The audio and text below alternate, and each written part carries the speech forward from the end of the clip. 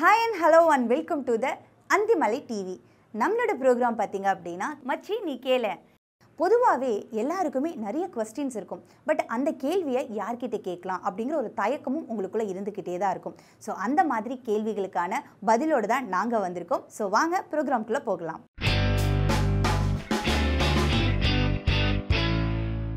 மச்சி நீ கேள. நம்மளுடைய ப்ரோக்ராமில் இன்றைக்கி நம்ம என்ன கொஸ்டின் கேட்குறோம் அப்படிங்கிறதுக்கு முன்னாடி ஒரு குட்டி ஸ்டோரி நான் உங்களுக்கு சொல்லிடுறேன். ரீசெண்ட் டேஸில் வந்து எல்லாருமே இந்த மூவி பார்த்துருப்பீங்க. வீட்டில் விசேஷம். இந்த மூவியில் வந்து சத்யராஜ் சாரும் ஊர்வசிமாவும் நடிச்சிருப்பாங்க. இவங்களுக்கு மகனாக வந்து ஆர்ஜே பாலாஜி நடிச்சிருப்பாரு. ஸோ இந்த மூவியோட கான்செப்ட் என்ன அப்படின்னு பார்த்தீங்கன்னா அதாவது மகனுக்கு கல்யாணம் பண்ண வேண்டிய வயசில் வந்து ஊர்வசி மேம் வந்து ப்ரெக்னென்ட் ஆகிடுவாங்க ஸோ அவங்க கன்சீவ் ஆன விஷயத்த வெளியே சொல்கிறதுக்கு ரொம்ப கஷ்டப்படுவாங்க.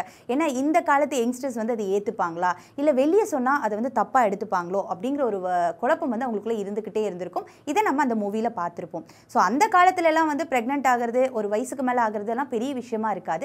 பட் இந்த ஜென்ரேஷனில் வந்து அது ஒரு பெரிய விஷயமாவே இருக்குது பட் இன்னைக்கு நம்ம இந்த ப்ரோக்ராம் மூலியமாக எதை பற்றி கேட்க போகிறோம் அப்படின்னு பார்த்தீங்கன்னா இவ்வளோ வயசாயிடுச்சு. ஒரு ஃபார்ட்டி இயர்ஸ் எபோ வந்து நான் ப்ரெக்னென்ட் ஆனால் அது வந்து ஓகேவா இல்லை என் உடம்புக்கு அது செட் ஆகுமா? அப்படிங்கிற ஒரு தயக்கம் வந்து நிறைய பேருக்குள்ள இருந்துக்கிட்டே இருக்குது பட் அதை வெளிப்படையாக கேட்க முடியாமல் நிறைய பேர் தயக்கத்திலே இருக்காங்க. ஸோ அந்த மாதிரி கேள்விகளை தான் இன்னைக்கு நம்மளோட ப்ரோக்ராம் மூலிமா கேள்விகளை கேட்க போகிறோம் நம்ம யார்கிட்ட கேட்குறோம் அப்படின்னு பார்த்தீங்கன்னா மகளிர் மகப்பேறு மருத்துவர் தமிழ் தென்றல் அரவிந்த் மேம் கிட்ட தான் கேட்டு தெரிஞ்சுக்க போகிறோம் ஸோ வாங்க ப்ரோக்ராம்குள்ளே போகலாம். வணக்கம். மேம் பொதுவாகவே லேடிஸ் வந்து ப்ரெக்னென்ட் ஆகாமல் இருக்கிறதுக்கு என்னென்ன தடுப்பு முறைகள் இருக்குது எல்லா பெண்ணுக்குமே அவங்களோட இனப்பெருக்க தன்மையை எனக்கு எத்தனை குழந்தை இருக்குங்கிறத டிசைட் பண்ணிக்கக்கூடிய உரிமை வந்து எல்லா பெண்களுக்குமே உண்டு. அதை வந்து அவங்க எப்படி பண்ணிக்கலாம் அப்படின்னா அதுக்காக யூஸ் பண்ணுற சாதனங்கள் பேர் தான் கருத்தடி சாதனங்கள். கருத்தடி சாதனங்களை பற்றிய நாலேஜோ இல்லை எனக்கு என்னென்ன ஆப்ஷன்ஸ் எல்லாம் இருக்குது அப்படின்னு தெரிஞ்சுக்கிறதோ ரொம்ப ரொம்ப எளிதான விஷயம். இதுக்காக நம்ம ரொம்ப சஃபஸ்டிகேட்டான ஒரு ஹாஸ்பிட்டலுக்கு போயெல்லாம் தெரிஞ்சுக்கணுங்கிற அவசியமே கிடையாது. நார்மலாக நம்ம கிராமத்தில் ஒரு வெள்ளை கலர் புடவை கட்டிட்டு ஒரு வேக்சின் பாக்ஸ் வச்சுட்டு ஒரு நர்ஸமாக இருப்பாங்க விஹெச்ன்னு சொல்லுவோம். வில்லேஜ் ஹெல்த் நர்ஸ் இருப்பாங்க.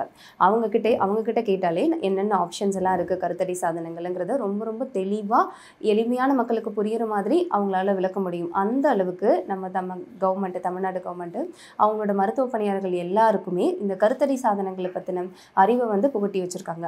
கருத்தடி சாதனங்கள் பொதுவாக வந்து ரெண்டு வகையாக பிரிக்கலாம். நிரந்தர கருத்தடி சாதனங்கள் அப்புறம் தற்காலிக கருத்தடி சாதனங்கள். நிரந்தர கருத்தடி சாதனங்கிறது நிரந்தரமானது. அதாவது அதை யூஸ் பண்ணும்போது அறுவை சிகிச்சை மாதிரியான மெத்தட் அதை யூஸ் பண்ணும்போது நம்மளுக்கு நிரந்தரமாக குழந்தை பிற இருக்கிற தன்மையானது குறையும் தற்காலிக கருத்தரி சாதனங்கிறது ஒரு ரிவர்சபிள்னு சொல்லுவோம். அதாவது அதை ஸ்டாப் பண்ணும்போது திருப்பி நம்மளுக்கு கருவுற தன்மையானது மறுபடியும் கிடைச்சிரும்.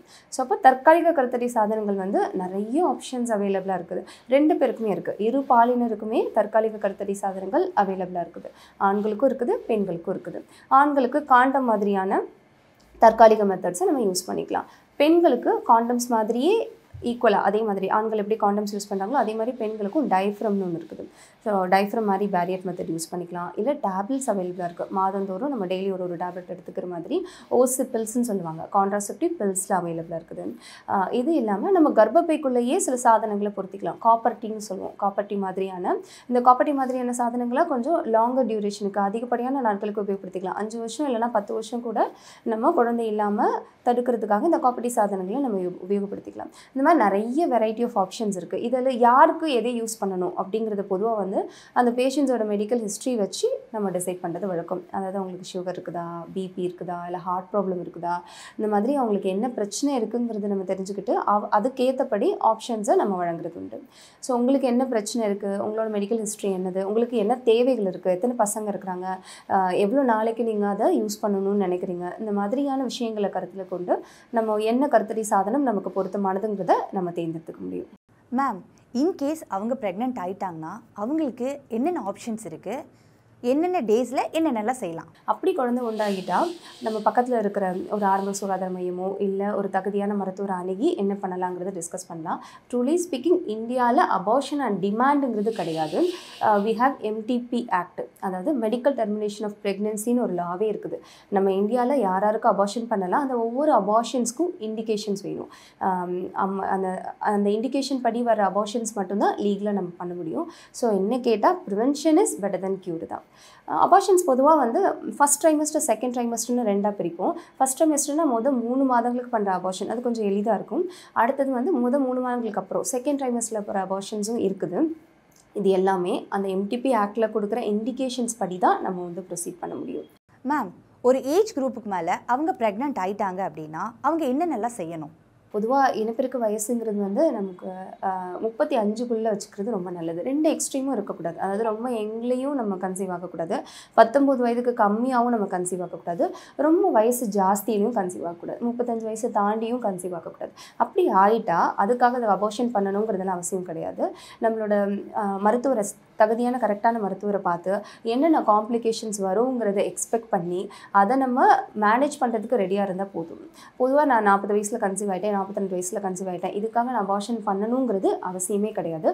இப்போ மருத்துவம் எவ்வளோ முன்னேறி இருக்குது நீங்கள் என்ன வயசில் கன்சீவ் ஆகிட்டீங்கனாலும் அந்த குழந்தையாக சேஃபாக எப்படி பெற்றெடுக்கிறதுக்கான வழிமுறைகள் இருக்குது ஏஜ் வந்து எப்போவுமே அபார்ஷனுக்கான ஒரு இண்டிகேஷன் கிடையவே கிடையாது. லேடிஸ் வந்து எத்தனை வயசு வரைக்கும் குழந்தைகள் பெற்றுக்கலாம் அதுக்கு அவங்களோட உடம்பு ஒத்துழைக்குமா? பத்தொம்போதுலேருந்து முப்பத்தஞ்சு வயசு தாங்க கரெக்டாக ரெண்டாவது இப்போ ஒரு ஃபஸ்ட்டு குழந்தை ரெண்டாவது குழந்தை ரெண்டு விஷயம் இருக்குது ரெண்டாவது குழந்தையே பொதுவாக முப்பத்தஞ்சு வயசுக்குள்ளே டெலிவரி பண்ணுறது கரெக்டாக இருக்கும். இப்போ இப்போல்லாம் ஃபஸ்ட்டு இப்போ ஃபஸ்ட்டு குழந்தைய எல்லாருமே முப்பத்தஞ்சு வயசு தாண்டி பெற்றுக்கிறாங்க. ஃபஸ்ட்டு குழந்தை பிறப்பு ப்ரைமி கிராவிடான்னு சொல்லுவோம். முதல் குழந்தை பிறக்கிறதே ஏஜ் லிமிட் வந்து இப்போ ரொம்ப ஜாஸ்தியாகிட்டே வருது. முடிஞ்ச வரைக்கும் நம்ம அதை தடுத்துக்கிறது நல்லது. ரொம்ப யங் ஏஜில் ஒரு டுவெண்ட்டி ஃபைவ்க்குள்ளே தேர்ட்டிலேருந்து நீங்கள் குழந்தை பிறப்பு பிளான் பண்ணும்போது உங்களுக்கான காம்ப்ளிகேஷன்ஸ் ரொம்ப ரொம்ப ரொம்ப கம்மியாக இருக்கும். அந்த டெலிவரியில் உங்களுக்கு வரப்போகிற ஆபத்துகளோ இல்லை பிரச்சனைகளோ கண்டிப்பாக அதோட அளவு கம்மியாக இருக்கும். முடிஞ்ச வரைக்கும் முப்பத்தஞ்சு வயசுக்குள்ளே ரெண்டு டெலிவரி கம்ப்ளீட் பண்ணுறதுக்கு ட்ரை பண்ணுங்கள் பொதுவாக ஒரு குழந்தைக்கு அடுத்த குழந்தைக்கு இடைவெளி ஒரு மூணு வருஷமாவது விடணும் இல்லையா? ஸோ அதுக்கேற்றபடி நீங்கள் பிளான் பண்ணுறது கரெக்டாக இருக்கும். மேம் இந்த கருக்கலைப்பு பற்றி நம்முடைய இந்திய சட்டம் வந்து என்ன மேம் சொல்லியிருக்கு? கருக்கலைப்பு சட்டம் முதல்ல எதுக்காக கொண்டு வந்தாங்கன்னா சேஃப் அபார்ஷன் பண்ணுற மாதிரிக்கு நம்ம சேஃபாக அபார்ஷன் பண்ணி கொடுக்கணுங்கிற நோக்கத்தில் கொண்டு வரப்பட்டதான் ஆஹ், கருக்கலைப்பு சட்டமானது. சேஃப் அபார்ஷன்ஸ்க்கு என் யாரெல்லாம் அபார்ஷன் பண்ணலாம் எந்தெந்த இடத்துலலாம் அபார்ஷன் பண்ணலாம் என்ன மாதிரியான கேட்டகரி இருந்தால் லைசன்ஸ் பண்ணுறதுக்கு அபார்ஷன் கொடுக்கலாம். இந்த மாதிரியான பேசிக் விஷயங்களுக்காக ஒரு விதிமுறைகள் கொண்டு வரணுங்கிறதுக்காக கொண்டு வரப்பட்டது தான் எம்டிபி ஆக்ட்னு சொல்லுவோம். நைன்டீன் செவன்ட்டி ஒனில் ஃபஸ்ட்டு ஆக்ட் வந்துச்சு. அதுக்கப்புறம் ஐம்பது வருஷம் கழிச்சு டுவெண்ட்டி டுவெண்ட்டி ஒனில் ஒரு டூ இயர்ஸ் பேக்கு ஒரு திருப்பி அதை ரெஃப்ரெஷ் பண்ணாங்க.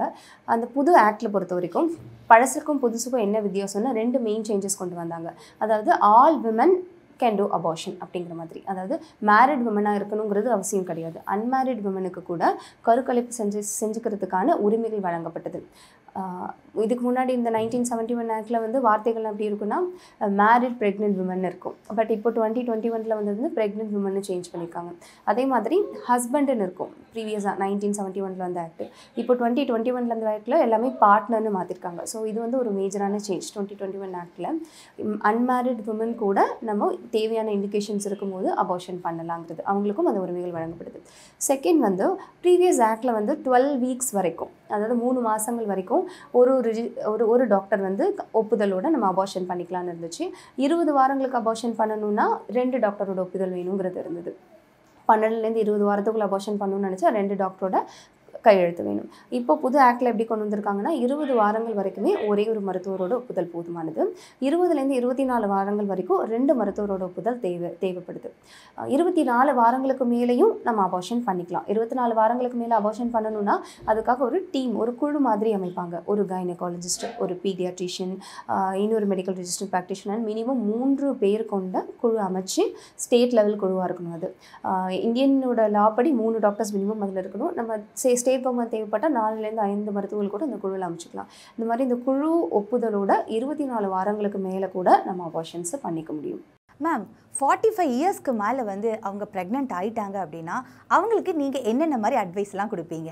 பொதுவாக நம்ம வந்து ஒரு லேட் மேரேஜ் பண்ணுறோம் என்னோடய ப்ரெக்னென்சியே கொஞ்சம் லேட் ஆகிடுச்சு எனக்கு ஒரு முப்பத்தாறு வயசு ஆகிடுச்சு இப்போ தான் நான் வந்து ப்ரெக்னென்சியே பிளான் பண்ணுறேன் அப்படின்னு இருக்கும்போது நீங்கள் கன்சீவ் ஆகிறதுக்கு முன்னாடியே உங்களோட ஃபிட்னஸ்ன்னு சொல்லுவாங்க. நம்மளோட பிபி ஆகட்டும் சுகர் ஆகட்டும் இது எல்லாமே கண்ட்ரோல்டாக இருக்கா? ஃபார் எக்ஸாம்பிள் இப்போ சுகர் வந்து ரொம்ப ஜாஸ்தி இருக்குது ஹெச்பிஎவன்சி எல்லாம் லெவனில் வச்சுருந்தோன்னா உருவா போகிற குழந்தை வந்து அவ்வளோ ஆரோக்கியமாக இருக்காது. அப்போது ப்ரெக்னென்சி பிளான் பண்ணுறதுக்கு முன்னாடியே நம்ம வந்து நம்ம மெடிக்கல் ஃபிட்னஸை வந்து கொஞ்சம் பார்த்துக்கலாம். ஒரு டாக்டர் கரெக்டாக பார்த்து என்னோட பிபி கரெக்டாக இருக்கா சுகர் கரெக்டாக இருக்கா ஹீமோக்ளோபின் லெவல் நிறைய முப்பத்தாறு வயசுக்கு மேலே இருக்கிறவங்களுக்கு ரத்த சோகை இருக்குது. இது எல்லாத்தையும் கரெக்ட் பண்ணிவிட்டு நம்ம ப்ரெக்னென்சிக்குள்ளே என்ட்ராகிறது ரொம்ப சரியாக இருக்கும். அப்புறம் கன்சீவ் ஆனதுக்கு அப்புறமுமே ரெகுலரான மருத்துவ பரிசோதனை மிக மிக மிக அவசியம். நார்மலாக யங் ஏஜில் கன்சீவ் ஆகிறவங்களை விட கொஞ்சம் ஏஜ் ஆகி கன்சீவ் ஆகிறவங்க சரியாக மருத்துவரை கரெக்டான நேரத்தில் போய் பார்த்து ஒரு ஒரு பரிசோதனைகளையும் கரெக்டாக செஞ்சுக்கிறது ரொம்ப அவசியம். இப்படி நம்ம பண்ணும்போது எவ்வளோ காம்ப்ளிகேஷன்ஸ் இருந்தாலும் இப்போ இருக்கிற அட்வான்ஸ்டு இதில் கண்டிப்பாக மேனேஜ் பண்ண முடியும். ரொம்ப ஏஜ் ஆகிட்டுங்கிறதுக்காக பயப்படணுங்கிறது அவசியம் கிடையாது. சரியான மருத்துவரை பார்த்து சரியான சோதனைகளும் ரத்த பரிசோதனைகளோ இல்லை குழந்தைக்கான பரிசோதனைகளோ கரெக்டாக செஞ்சுக்கிறது மட்டும் பண்ணாலே போதும். எந்த காம்ப்ளிகேஷன்ஸும் இல்லாமல் நம்ம வந்து டெலிவரியே பண்ண முடியும். அதாவது நம்ம ஊர்ல எல்லாம் பார்த்தீங்கன்னா பொதுவாகவே வந்து ப்ரெக்னெண்ட்டாக இருக்க லேடிஸை பார்த்துட்டு நீ அதை சாப்பிடாத இதை சாப்பிடாத அது சாப்பிட்டீங்கன்னா கரு கலைஞ்சிடும் இது சாப்பிட்டீங்கன்னா கரு கலைஞ்சிடும் அப்படின்னு சொல்லுவாங்க.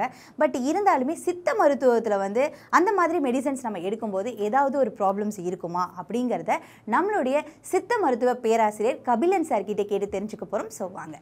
அனைவருக்கும் வணக்கம். சினிமாக்கள் நிறைய சினிமாக்களை பார்த்துருப்பீங்க. அதை சாப்பிட்டா வந்து கருப்பம் கலக்கிறதுக்காண்டி நிறைய இதில் வைத்தியங்கள் அங்கே கொடுக்குறாங்க மருந்துகளை. மருந்துகளில் உணவுகளே கொடுக்குறாங்க. அதே மாதிரி பப்பாளி பழம் எள்ளு உருண்டை இந்த மாதிரி உணவுகளை வந்து அதிகமாக கர்ப்ப காலத்தில் உண்டால் ஆறு மாதங்கள் வரைக்கும் கர்ப்ப காலங்களில் அதிகமாக சாப்பிட்டால் கர்ப்பம் களைவதற்கு அதிகமான வாய்ப்பு உண்டு. ஏனென்றால் இதெல்லாமே வந்து வெப்ப வீரியம் உள்ள உணவுகள். வெப்ப வீரிய உணவுகள் உண்டால் கர்ப்பம் அழிவதற்கு அதிகமான வாய்ப்புகள் உண்டு. இதை உண்டால் கர்ப்பம் கலைந்து விடுங்கிறது கட்டாயம் கிடையாது. பட் கர்ப்பம் அழிவதற்கான நிறைய வாய்ப்புகள் உண்டு. கர்ப்ப காலங்களில் உப்பு புளி காரத்தை வந்து எந்த அளவுக்கு குறைவாக சாப்பிடுகிறார்களோ அந்த அளவுக்கு வந்து நல்லது. ரெண்டாவது தோற்பு செய்கை உள்ள பொருட்களை அதிகமாக குறைக்க வேண்டும். இந்த பாகக்காய் கற்பா முதல் மூன்று மாதங்களில் வந்து கா பாவக்காய் அந்த மாதிரி காய்களை வந்து அதிகமாக உண் ஓ, பாவக்காய் சுண்டைக்காய் போன்ற காய்களை அளவில் உண்டால் உடம்புக்கு நல்லது. ரெண்டாவது கர்ப்ப காலத்தில் வந்து என்னென்ன பொருட்கள் அதிகமாக உண்ணலாம்னு சொன்னீங்கன்னா பழங்கள். அதாவது எல்லா விதமான பழங்கள் பப்பாளி பழங்களும் தவிர்த்து மற்ற எல்லா பழங்களும் மாதுளை ஆரஞ்சு கொய்யா அதாவது எளிதில் செரிமானமாகக்கூடிய உணவுகளை எவ்வளோ தூரத்துக்கு சாப்பிட்டாலும் நல்லது. பீட்ரூட்டு கேரட் அந்த மாதிரி காய்கறிகளில் வந்து புரோட்டீனும் ஜாஸ்தி இருக்குது கார்போஹைட்ரேட்டும் ஜாஸ் அதிகமாக இருக்குது. ஸோ அதிகமாக இருக்கிறத உண்டால் வந்து கர்ப்பங்களில் கர்ப்ப காலத்தில் கருகள் உருவாவதற்கு நிறைய வாய்ப்புகள் உண்டு. அது மாதிரி கீரைகள் அகத்திக்கீரையை தவிர்த்து மற்ற எல்லா கீரையுமே வந்து அதிக அளவில் உண்ணலாம். அது நிறைய பேர் வந்து இப்போ குங்குமப்பூ சாப்பிட்டா வந்து குழந்தை சிவப்பாக பிறக்குன்னு சொல்கிறாங்க பட் குங்குமப்பூ வந்து முதல் ஆறு மாதங்கள் சாப்பிடக்கூடாது. ஏன்னா ஆறு மாதங்கள் சாப்பிட்டா அது வந்து கருப்பையை வந்து சுருக்க விரிவாகக்கூடிய ஒரு செய்கை உண்டு. ஸோ அப்போ நிறைய பாதிப்புகள் ஏற்படலாம். க- குங்குமப்பூ பொதுவாக வந்து ஏழு எட்டா ஏழு மாதம் இல்லை எட்டாவது மா எட்டா ஏழு எட்டு ஒம்பது மாதங்களை சாப்பிட்டா தான் அந்த நேரங்களில் கரு இயற்கையாக டெலிவரி ஆகிறதுக்கு வந்து அது உதவும். முன்னாடி சாப்பிட்றத வந்து தவிர்க்க வேண்டும். பெண்கள் நார்ச்சத்துள்ள பொருட்களை அதிகமாக சாப்பிட்டால் நல்லது. அதாவது பீன்ஸு அந்த அவரைக்காய் அந்த மாதிரி பச்சை காய்கறிகள் அதிகமாக சாப்பிடணும். பெரிச்சம்பழம் நட்ஸு அதாவது பருப்பு வகைகளில் வந்து எல்லா பருப்புகளையும் வந்து சாப்பிட்டா முந்திரியிலேருந்து எல்லா பருப்புகளுமே சாப்பிட்டா அதில் புரோட்டீன் சத்து அதிகமாக இருக்கிறதுனால கருவில் உள்ள குழந்தைகள் வள வளருவதற்கு வந்து அது மிகப்பெரிய உதவியாக இருக்கும். ஓகே வியூவர்ஸ் இந்த ப்ரோக்ராம் மூலிமா ஒரு ஏஜுக்கு மேலே நம்ம வந்து ப்ரெக்னென்ட் ஆகிட்டா என்ன பண்ணுறது அந்த விஷயத்தை எப்படி ஃபேஸ் பண்ணுறதுன்னு தெரியாமல் ஒரு தயக்கத்தோடையே இருந்திருப்பீங்க. இந்த ப்ரோக்ராம் மூலிமா அந்த தயக்கம்லாம் கண்டிப்பாக உங்களுக்கு போயிருக்கும். உங்களுடைய கேள்விக்கான பதில்களும் கண்டிப்பாக கிடச்சிருக்கும். ஸோ இதுக்கு ரொம்ப அழகாகவே பதில் அளிச்சிருக்காங்க நம்மளுடைய டாக்டர் தமிழ் தென்றல் அரவிந்த் அண்ட் டாக்டர் கபிலன் வந்து ரொம்ப அழகாக பதில் கொடுத்தாங்க. இதே மாதிரி இன்னொரு சூப்பரான ப்ரோக்ராமில் நான் வந்து நிறைய கேள்விகளோடும் சூப்பரான பதில்களோடும் உங்களை வந்து சந்திக்கிறேன். And still then bye from Saranya Vijay. Ta-ta